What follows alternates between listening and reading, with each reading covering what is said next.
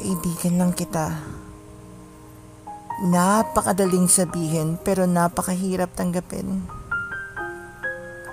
Paano mo nga ba sasabihin kaibigan mo lang ako? Gayong sa mga nakalipas na araw ay ipinaramdam mo sa akin na masigit ako kaysa sa mga taong nakapaligid sa iyo. Naalala ko na naman tuloy yung unang araw mo akong kinausap. Habang nakatingin ako sa alapaap, at ang mga sagot sa tanong ko ay aking hinahanap. At mula nga ng mga oras na yon, ay natuto akong muling ngumiti, sumaya, at naniwala akong ang katulad ko ay may karapatan pa ring magmahal at mahalin. Pero hindi ko naisip na darating pala ang araw na ako ay gigising at malalaman kong tapos na ang isang masayang panaginip.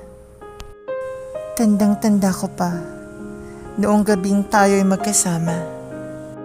Sobrang saya mo nun at ganun din naman ako. Hinawakan mo ang aking mga kamay at sinabi mong may importante kang sasabihin.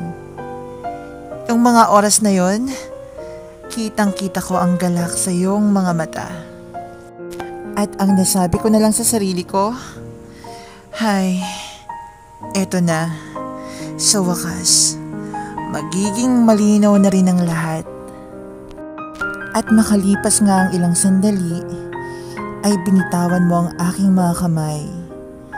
Tumalikod ka at ang tinungo ay pintuan. Sabay humarap ka nang may ngiti sa iyong mga labi at iyong sinambit na siguro nga ito na ang tamang oras para ipagtapat ko sa iyo. Hindi ko ipagkakaila na napuno ng sigla at saya ang puso ko ng mga oras na yon. Para akong nasa telenovela kung saan ikaw ang bidang lalaki at ako ang bidang babae. Maya-maya pa ay bumukas na nga ang pintuan. Ngunit ang mundo ko ay napuno ng kalituhan. Ang isipan ko'y napuno ng maraming katanungan. Ano? Bakit? Sino? Ngunit ni isang slitay walang lumabas sa aking bibig. At habang nagugulamihanan, ay iyong ipinakilala ang isang magandang dalaga na ngayon ay nakatayo sa aking harapan at katabi mo pa. Isang dalaga na nagmamay-ari na pala ng puso mo na sa mahabang panahon na inakala kong hawak ko. Oo, Masakit. Masakit malaman na siya pala yung babaeng iniibig mo. Pero alam mo kung ano yung mas masakit? Yung sinambit mo yung mga katagang mahal. Siya nga pala yung sinasabi ko sa yung kaibigan ko. Nung mga sandaling yon, pinilit kong wag iparamdam sa iyo ang sakit na aking nadarama. Ipinakita ko pa rin sa iyo ang ngiti sa aking mga labi kahit na ang puso ko ay unti-unti nang nahahati. Subalit pasensya na. Kasi hanggang doon na lang ang aking makakayanan. At di nga nagtagal, ako ay lumisan. Dala ko ang pusong noon ay luhaan.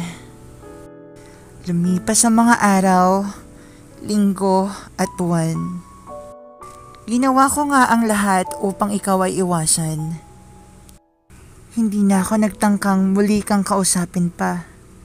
Kasi alam ko, sa akin, ang turing mo lang ay isang kaibigan.